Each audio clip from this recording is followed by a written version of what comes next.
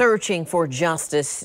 Today marked seven months since a local father of three was shot to death in a Sherwood Forest home. Darnell Wilson Sr.'s killer has not been arrested. Today, his family gathered near the home of Roanoke Boulevard, just off of Sibbald Road. They were joined by the anti-violence group Mad Dads. News4JAX reporter Ashley Harding shares their plea for answers. Melanie's Wilson is a Gators fan, but today she's decked out in Florida State gear. And I have my watch the same color, shoes. He loved Nikes and tennis shoes and things like that. So this is in I memory of her brother, Darnell Wilson. He was murdered seven months ago today. For myself, sleepless nights, um, crying, anger, frustration, want to lash out at whoever it was. Um, far as my family, his children, they're taking it hard.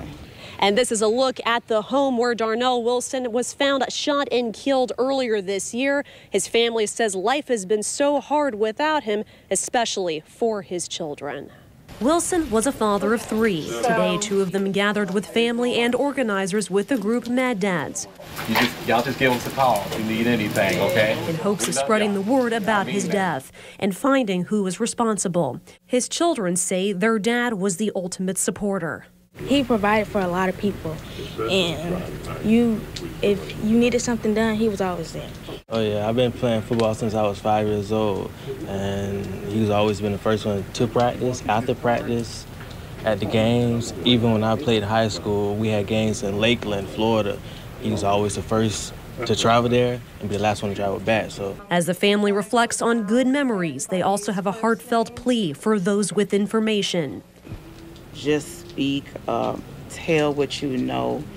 It may not may not be true, but if you hear something, please report it. Let's get closure. You don't want this to be you standing where I'm at in my shoes. Getting justice for a man loved by many whose life was taken too soon. In Jacksonville, Ashley Harding, Channel 4, the local station.